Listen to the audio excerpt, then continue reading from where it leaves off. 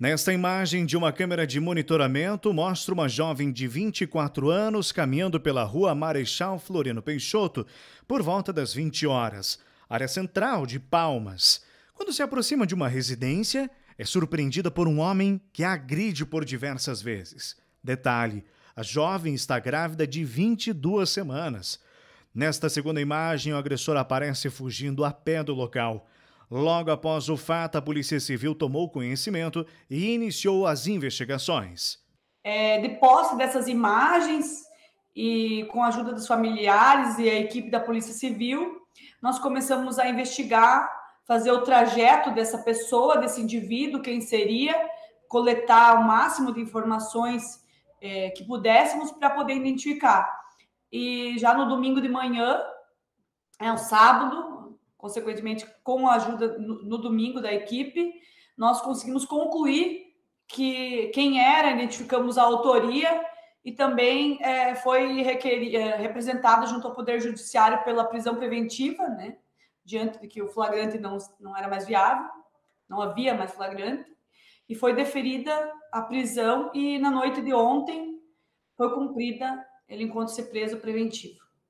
A vítima não reconheceu o agressor, a delegada revela que a motivação do crime também ainda não é conhecida. A vítima não conhecia, ainda não temos a motivação, né? Vamos desvendar, tentar descobrir, conversar com ele. A gente não teve oportunidade ainda de, de conversar com o suposto autor, até porque ele foi preso praticamente na madrugada. Mas não, ainda não temos informação de uma concreta da, da motivação.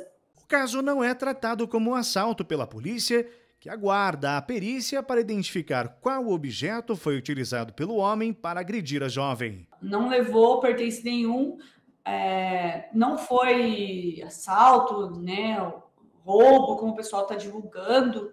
É, também é importante mencionar que é, não há registro de uma de faca. Havia um objeto é, pérfuro, cortante, alguma coisa nesse sentido, mas a gente ainda não pode esclarecer certo, porque não veio o resultado da perícia, nós não temos ainda o laudo exatamente, né? Não tem autoridade para falar o que, qual que era é, o objeto que estava com eles. Sabemos que tinha alguma coisa, mas não era uh, faca, arma branca, como é, estava sendo divulgado. As câmeras de segurança filmaram toda a ação do crime. De acordo com a delegada, foram fundamentais para a agilidade da investigação da Polícia Civil.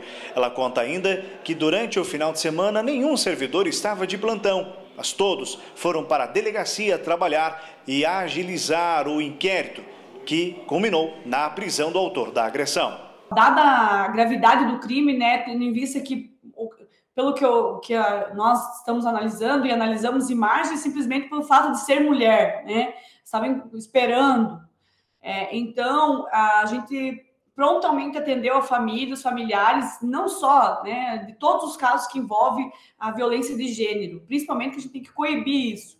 Então, de maneira bem rápida, a polícia no sábado diligenciou, né, a fim de, de ver tudo, de juntar e no domingo no domingo foi ouvida mais de sete pessoas sobre o caso, é, no domingo de manhã, e daí de tarde já foi, é, meio-dia mesmo, a gente já pediu a prisão preventiva e o prontamento judiciário é, deferiu e cumprimos também é, de imediato. Então, foi uma resposta rápida para a sociedade. Felizmente, a jovem não corre risco de morte, assim como também o seu bebê.